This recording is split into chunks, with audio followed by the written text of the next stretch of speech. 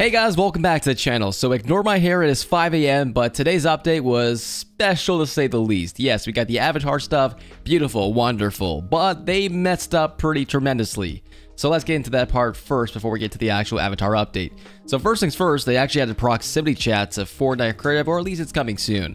Now, don't get too worried about this one. Apparently it's going to be for specific map makers to make, well, certain types of map and stuff like that. Uh, kind of like, you know, this old game mode. So yeah, something like that, but still going to be pretty weird. Along with that, a good update. Epic Games is now adding the Rebel Leia Organa skin coming soon, and that should be pretty cool for Star Wars, probably on May the 4th. And let's get to the bad part of the video. So essentially, Epic is kind of playing the angel and devil on your shoulder type thing because A, they added a quality update, but they also added a very bad update. So the first quality update is inside the item shop now, or coming soon at least, every single skin will now say when it will be leaving. So an actual timer per actual skin. And that will determine, you know, when the skin will be coming back and stuff like that. So very, very good update. But the bad update is they have now removed all the rarities of every single skin inside the item shop, inside your locker, absolutely everything. So now the crappy UI is just blue. Everything just looks blue, blends in together, and it's just confused. I hate the UI so much. It is just terrible. And now it's even worse because everything just blends in together. There's no diff color differences or nothing like that. And on top of that, you know, rarity determined the price. So what is going to determine the price now? A 2000 a 2000 skin would be legendary, but now what is that going to be? Blue? Like they're all just blue now? It just makes absolutely no sense. So I do not like this update. Definitely curious as far as what you guys think about it. With that being said though, here is all the brand new emotes in today's update.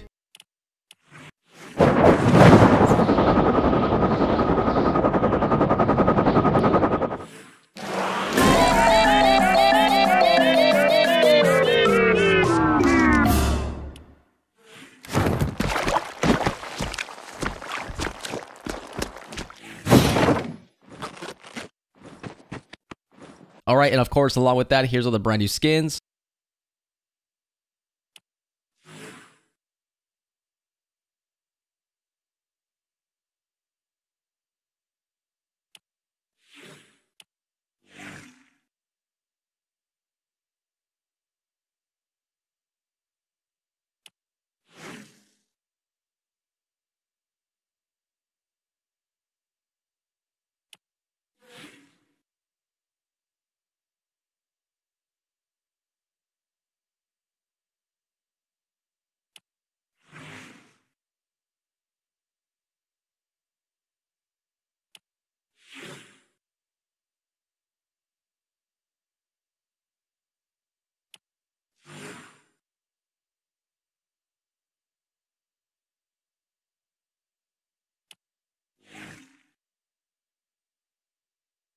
Of course, we also have gameplay of all the brand new mythics, so here's also that. They actually are pretty freaking cool.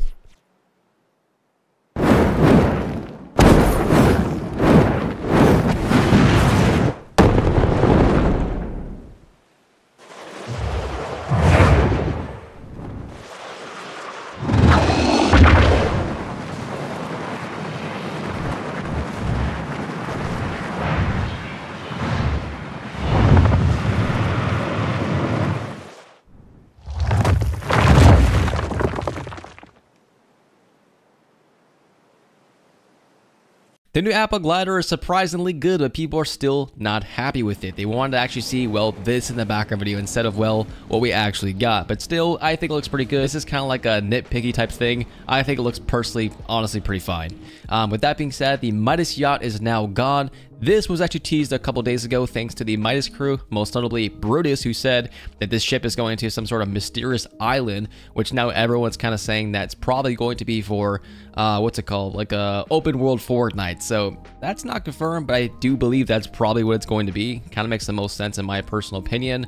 I just randomly seen this photo, so I just want to share that really quickly. Uh, so great work to the Trift guy. Um, Rocket Racing Season 1 is now here, and it did actually add a lot of cool stuff, most notably a new starter pack and the new werewolf vehicle, but obviously some bread.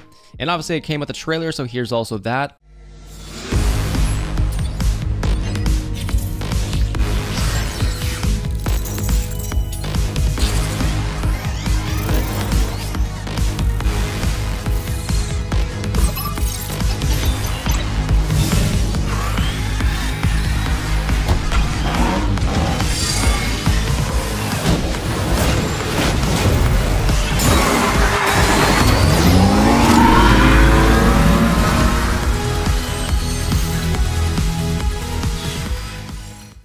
Okay. We also have this in the background video, which is actually pretty interesting, and it's actually pretty long, so I think this actually might be it for the video, but the Oracle's voice line said that you should know that the banana, aka Peely, seems to be the linchpin holding together all of reality. Do with that information what you may. So it looks like the Peely storyline was not, you know, for nothing, you know, a, a, a couple seasons ago, which is very, very reassuring. I'm very happy to see that Peely the the whole Peely storyline was not in vain. So yeah, very cool, but here's the rest of it. This is written by Zeus himself.